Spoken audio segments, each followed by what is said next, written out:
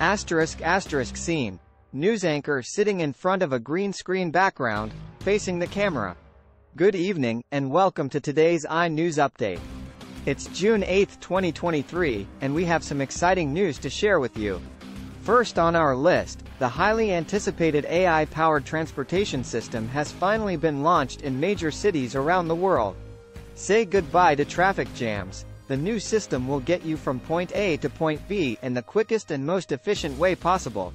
In other news, AI technology is being utilized to increase agricultural sustainability.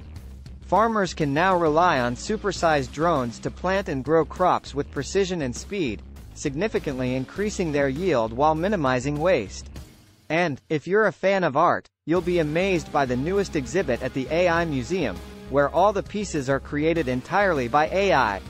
It's a revolutionary new way of thinking about art, and visitors are thrilled to see what the machines can come up with. Last but not least, AI technology is revolutionizing medicine. Doctors are using AI algorithms to help diagnose and treat complex medical issues, allowing for more accurate diagnoses and better patient outcomes.